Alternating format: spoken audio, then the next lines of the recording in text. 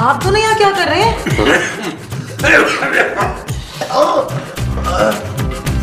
वो आपके उठने का इंतज़ार। क्या? हाँ ये बताएँ कि नाश्ते में क्या खाएगी? ऑमलेट या फ्रेंच टोस्ट या पराठा? आप दोनों बड़े स्वीट हैं। मैं ज़्यादा स्वीट हूँ ना। हाँ इन्हें शुगर है ना? रजिया?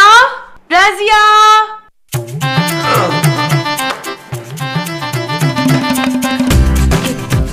नाश्ते में मेरे लिए एक मशरूम ऑमलेट और एक कॉफ़ी बना कर लिया। दस मिनट के अंदर।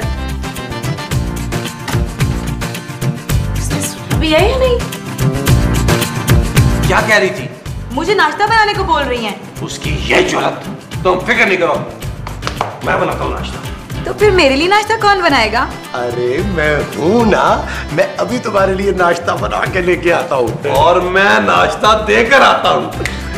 क्या कर रही है यहाँ है गाने देख रही हूँ तू यहाँ काम करने आई है या नाच देखने आई है?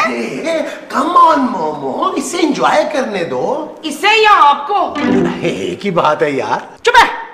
हमने तुम्हें काम के लिए रखा था और तुमने हमारे शोरों को काम पे लगा दिया कोई बात नहीं जानू।